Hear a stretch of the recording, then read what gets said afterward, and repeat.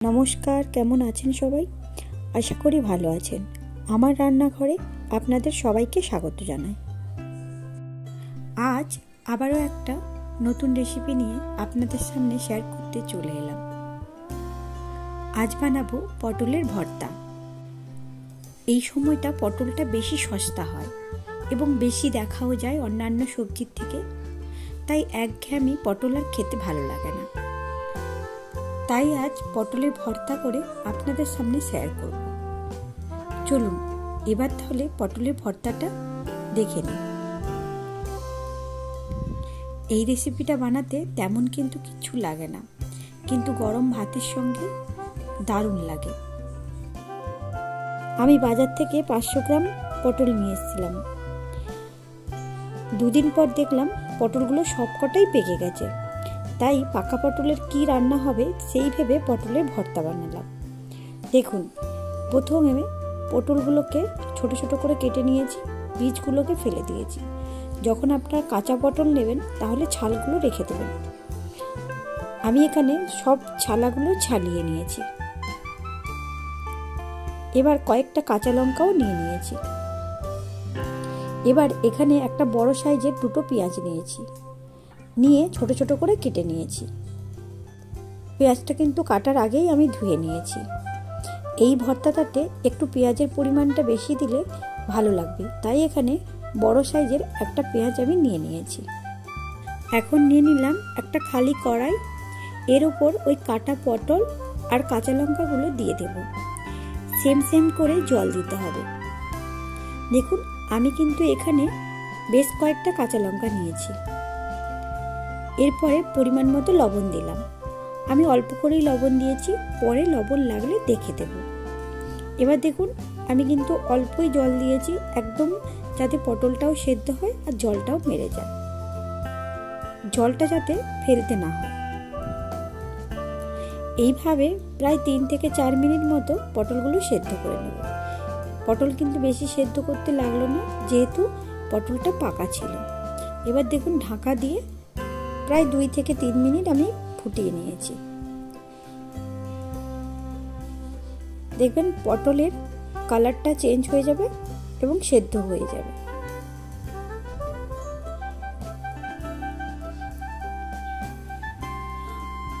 এখানে আমি ঢাকা দিয়ে পটলগুলোকে সেদ্ধ করে নিয়েছি।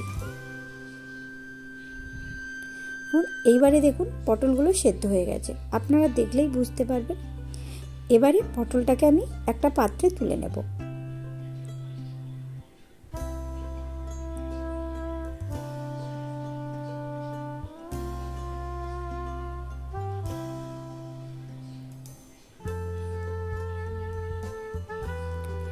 এরপরে পটলটাকে ঠান্ডা হতে রেখে দেব। দেখুন, পটলগুলো কিন্তু ভালো মতো সেদ্ধ হয়ে গেছে এবং সঙ্গে কাঁচা লঙ্কাগুলোও সেদ্ধ হয়ে গেছে। এবার পটলগুলোকে আমি ঠান্ডা করার জন্য রেখে দেবো। আপনারা যদি চান, এখানে শুকনো লঙ্কাও ইউজ করতে পারেন। আমি এখানে লঙ্কাগুলোকে সেদ্ধ করে নিয়েছি। এরপরে কয়েকটা রসুন কুচি নিয়ে নেব। এবার একটা গেটারের সাহায্যে রসুন কুচিটাকে কুচিয়ে নেব। চাইলে আপনারা থেতো করেও দিতে পারেন। আমি এখানে গেটারের সাহায্যে একদম চুড়ে নিয়েছি।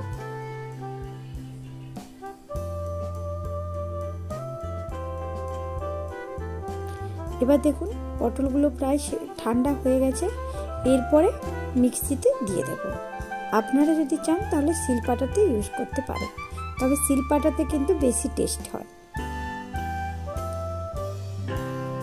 এবারে কাঁচা লঙ্কা আর সেদ্ধ করা পটলগুলো আমি মিক্সিতে পেস্ট করে নেব। এবার দেখুন, আমার পেস্ট হয়ে গেছে। এবার একটা পাত্রে ঢেলে নেব। পটলটা কিন্তু এইভাবে শুকনো শুকনো বাটতে হবে।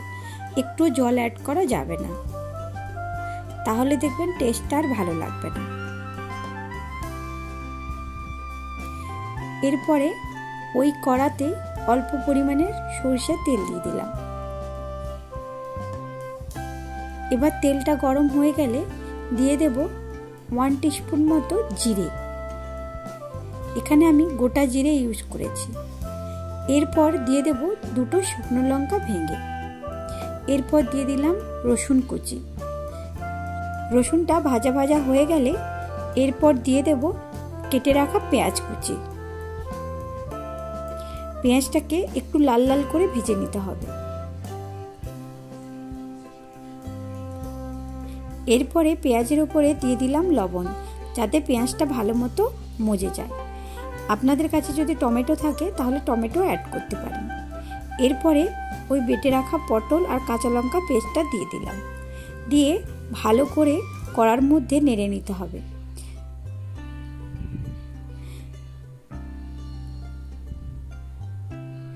এইভাবে কন্টিনিউ কিন্তু নাড়তে হবে, না হলে কড়াতে লেগে যাবে।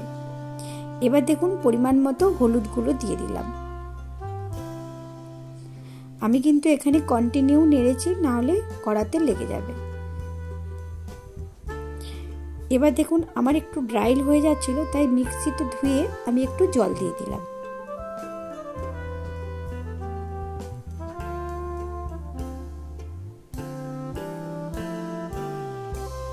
এরপর এখানে পরিমাণ মতো চিনি দিয়ে দিলাম। চিনিটা কিন্তু একদম মিষ্টির জন্য নয়, এটা ব্যালেন্সের জন্যই দিলাম। এইভাবে ভালো করে নেড়ে নিতে হবে। একদম শুকনো শুকনো করেই আপনাকে পটলের ভর্তাটাকে রেডি করতে হবে। এবার দেখুন, আমি একটু অল্প পরিমাণে জল দিয়ে ভালো করে নেড়ে নিয়েছি। এরপরে দিয়ে দেব শুকনো লঙ্কার গুঁড়ো। এই গুঁড়োটা একদম অপশানাল আপনারা দিতে পারেন, নাও দিতে পারেন। এরপরে দিয়ে দিলাম পরিমাণ মতো সর্ষে তেল। এখানে আমি টু টিস্পুন মতো ওপর দিয়ে সর্ষে তেল দিয়েছি। যে কোনো ভর্তার পরে কিন্তু সর্ষে তেলটা দিতেই হবে, না হলে ভালো লাগবে না।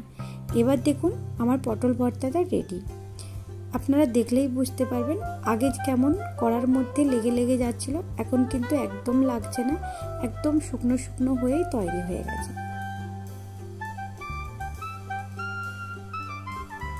আমার এই রেসিপিটা আপনাদের যদি ভালো লেগে থাকে, তাহলে নিজেরা বানিয়ে অবশ্যই কমেন্ট করে জানাবেন কেমন হয়েছে। আর যদি ভালো লেগে থাকে, একটা লাইক দেবেন। খুব ভালো লেগে থাকলে বন্ধু আর ফ্যামিলির সঙ্গে শেয়ার করবেন। আর আমার পরবর্তী ভিডিও যদি আপনারা কেউ দেখতে চান, তাহলে সাবস্ক্রাইব করে পাশে থাকবেন। চলুন, দেখা হচ্ছে পরের ভিডিওতে